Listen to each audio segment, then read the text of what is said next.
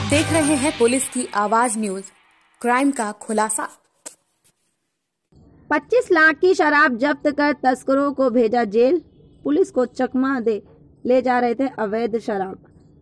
रविवार को थाना कोसीकला पुलिस की कोटवन चौकी पुलिस ने 25 लाख रुपए की अवैध शराब को जब्त कर दो शराब तस्करों को जेल भेजा है पुलिस के मुताबिक हाल ही में अलीगढ़ क्षेत्र में नशीली शराब का सेवन करने से कई लोगों की मौत होने से पुलिस विभाग में हड़कंप मचा हुआ है, जिसके चलते जनपद मथुरा की पुलिस ने भी शराब तस्करों के खिलाफ तेज़ी से अभियान चला दिया है। उसी दौरान रविवार को कोटवन चौकी पुलिस ने शराब तस्करी की रोकथाम को लेकर अभियान चलाया जिसमें पुलिस ने चेकिंग के दौरान संदिग्ध परिस्थितियों में एक ट्रक को रोक दिया।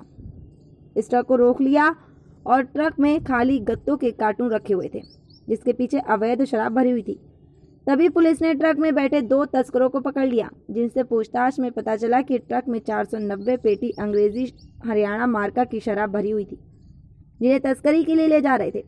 पकड़े गए ट्रक चालक ध्यान सिंह, पुत्र प्यारेलाल निवासी, बहेड़ी जिला, सोलन, हिमाचल प्रदेश, एवं कपिल पुत्र संतराम निवासी, रामशहर थे, जो कि आर्थिक लाभ के चलते शराब की तस्करी करने शराब ले जा रहे थे।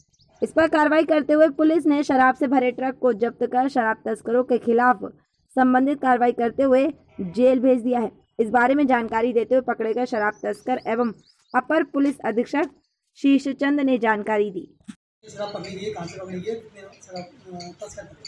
आज सुबह थाना कोशी कला क्षेत्रांतर्गत चौकी कोटवन के निकट चेकिंग के दौरान एक ट्रक में 490 पेटी हरियाणा मार्का शराब बरामद हुई है। इस प्रकरण में चालक सहित दो लोगों को गिरफ़्तार किया गया है। गिरफ़्तार लोगों के नाम ध्यान सिंह, पुत्र प्यारेलाल, निवासी शालोन, हिमाचल प्रदेश, एवं कपिल पुत्र संताराम निवासी शालोन हिमाचल प्रदेश हैं। इन अभियुक्तों को गिरफ़्तार कर लिया गया है। इनके अन्य साथियों की तलाश की जा रही है, जिनके द्वारा यह अवैध कृत्य किया गया है और इनका साथ दिया गया है।